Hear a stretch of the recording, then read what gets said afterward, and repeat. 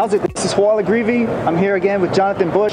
We're at HIMSS 18 in Las Vegas. I last saw Jonathan during JPM week in January in San Francisco. And I got one question for you, Jonathan. All right. What's your biggest takeaway for HIMSS 18? I just got here. Yeah, me too. I'll tell you, my biggest takeaway is no different than last year. You can say the same thing for 10 years and still be considered a genius in healthcare. Did I get that right? And here, here's data right? point number one.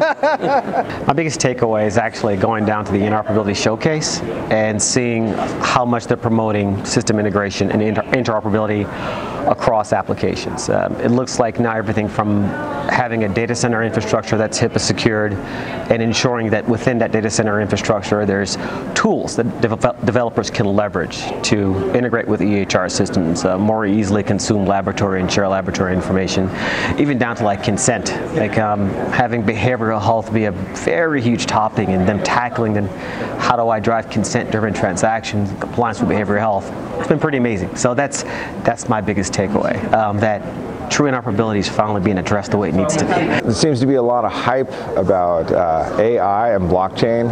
Uh, the, the takeaway on blockchain is it is not ready for prime time, at least in healthcare. It is far, far, far from ready. Uh, the AI stuff was extremely interesting, and I think it's going to create some efficiencies, especially uh, in specialty care, uh, radiology, dermatology, um, anything in a visual aspect where you can, uh, retinopathy, where you can basically look at the images and have it learn which is a, bad image versus a good image. Well, a lot of exciting things, right? The the show floor is exciting. For, for me personally, the most exciting thing is that uh, you know there's there's so many more startups here than there ever were. So this is no longer just the playground for the big enterprise software people. So that is amazing, and also the the number of health systems that are here wanting to work with startups and wanting to work with them by any and all means possible. So not just sort of driving pilots. I think they recognize that you know the pilot model is just you know not working really great unless there's a strong discipline to it. But also embracing app stores.